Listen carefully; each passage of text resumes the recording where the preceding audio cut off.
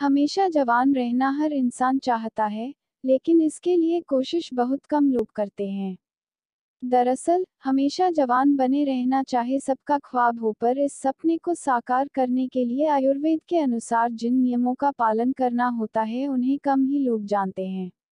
आज हम आपको बताने जा रहे हैं उन्हीं नियमों के बारे में जिनका पालन कर हमारे ऋषि मुनि हमेशा स्वस्थ और जवां बने रहते थे। एक जादूगरनी की कहानी से हम सभी परिचित हैं, वह जवान बने रहने के लिए दूसरों की जवानी चुरा लेती थी। हम सभी चाहते हैं हमेशा तरोताजा और जवान रहना, लेकिन इसके लिए जादूगरनी की तरह किसी की जवानी चुराने की ज़रूरत नहीं है। कहने का मतलब साफ़ है कि आप पर भी एक उम्र के बाद बुढ़ापा हावी होने लगेगा।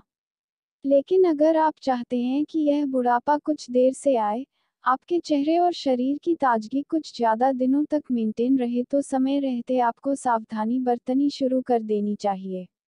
दरअसल सही खानपान और कुछ खास चीज़ों से आप भी पा सकते हैं सदाबहार जवानी। इसके लिए आप कुछ नेचुरल फूड्स को अपनी दिनचर्या में शामिल करना पड़ेगा।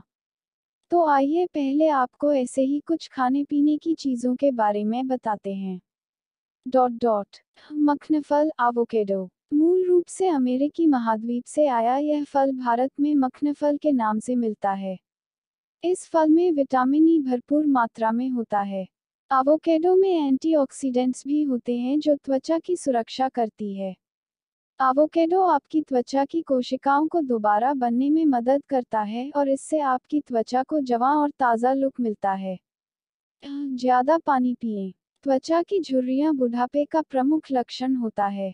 दिन भर में चार लीटर पानी पीना इसका कारगर उपचार है।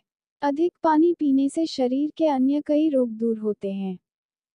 तनाव से बचें।